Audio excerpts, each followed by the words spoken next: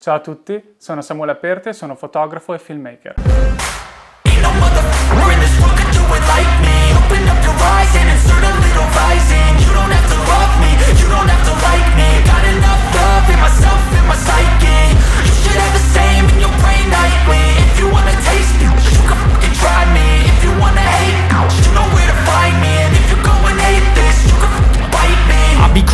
My lane fast, call it high speed I've been working hard, yeah, I've been working nightly If you think you'll win, ha. Oggi vi voglio parlare di lenti vintage, ma con un uso cinematico, perciò cinemodded in gergo.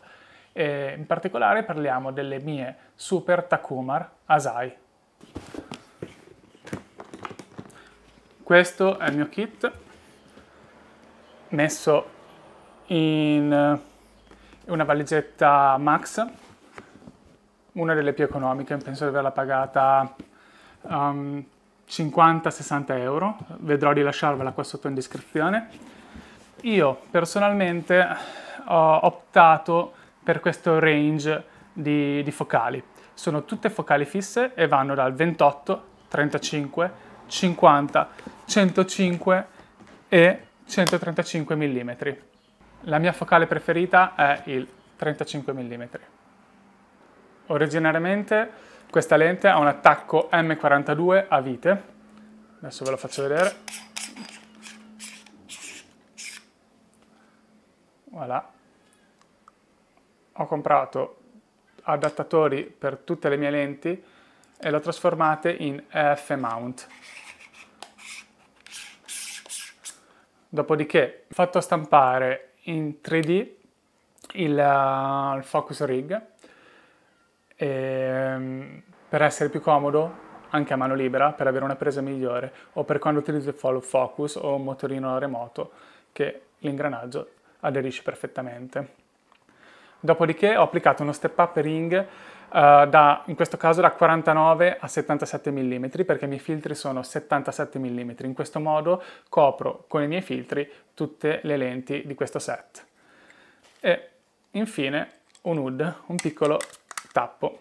Questo qui è un super uh, multicoded Takumar e tutte le lenti sono super multicoded perché ci sono diverse annate e diverse tipologie di coded, che sarebbe la pellicola, il trattamento che hanno le lenti. L'unica che non è, eh, che è super Takumar e non è multicoded è il 50. Scusate, questo è il 100. L'unica è il 50, che è solo Super Takumar. Il 50 è F1.4 eh, e ho applicato, come ho già detto, lo step up ring, l'ingranaggio di messa a fuoco e l'anello adattatore a EF mount. Di fila abbiamo 28 mm, Super Takumar Multicoded, il 28 mm è un F35,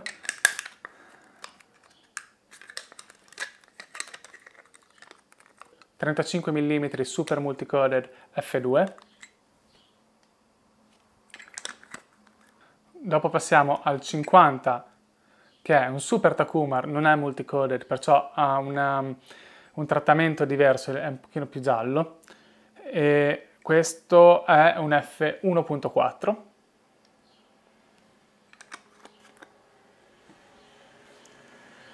...105 mm super multicoded f2.8 perfetta per i ritratti.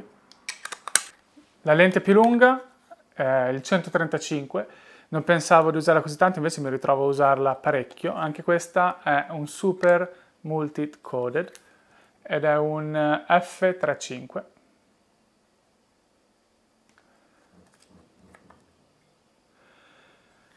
una lente lunga, però come tutte le altre appunto ha il rig, step up rig 77 mm, l'ingranaggio di messa a fuoco e l'adattatore a EF. Guardiamole tutte assieme, facciamo uno screenshot.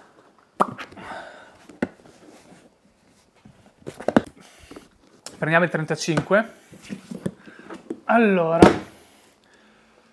perché consiglio un setup del genere. Allora, innanzitutto le Takumar SMC Super Multicoded hanno un look che io amo. Hanno dei difetti che secondo me diventano dei pregi quando si vogliono fare dei video più uh, narrativi che raccontano per esempio un video musicale, un cortometraggio, anche delle scene di una pubblicità. Sicuramente non sono adatte a progetti più clinici, per clinico intendo uh, magari un video di un prodotto o mh, mm, laddove si vuole ottenere l'immagine molto tagliente, molto definita, pulita e senza difetti. Queste non sono le lenti per voi, almeno non sono le lenti per quel progetto. Questo, come potrebbe essere anche un kit di Nikon IS, quelle vintage, tutte in metallo, queste sono tutte in metallo, non ci sono parti in plastica, sono fatte di metallo e vetro. È uguale le, le Nikon AS o se no le Canon FD, sono tutte lenti vintage che possono essere moddate e avere una comodità sul set uh, non indifferente, appunto per lo step up ring, così abbiamo tutti i filtri della stessa dimensione, uh, l'ingranaggio per la messa a fuoco e avere chiaramente adattare il mount in base a quello che si usa. In questo caso io l'ho adattata a F-mount, in modo che posso poi utilizzarle su una vastità di camere con altri adattatori o se no su camere che usano a mount F. La ghiera della messa a fuoco è morbidissima su tutto il set e molto precisa. Chiaramente la differenza tra una lente cinema e questa è che la lente cinema ha la ghiera al punto della messa a fuoco molto più lunga, quindi per un eh, video piccolo dove sei magari un videomaker, un filmmaker che lavora da solo, one man band, secondo me è più indicato una lente del genere perché comunque sia per andare da infinito alla messa a fuoco minima non è troppo lunga.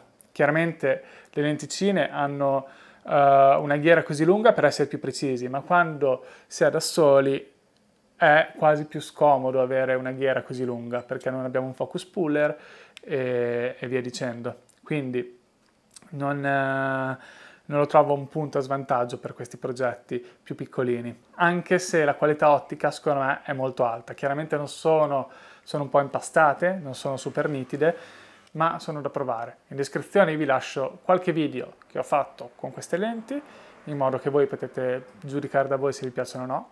Secondo me associate a camere digitali come la Pocket 6K, la Ursa 12K, la, Z, la Nikon Z8, che comunque hanno tanti milioni di pixel, il risultato è piacevole, è molto piacevole perché risulta un'immagine molto organica, non così tagliente e nitida come le lenti moderne, ma molto organica. Chiaramente non è una lente cine, questa è un modding basilare.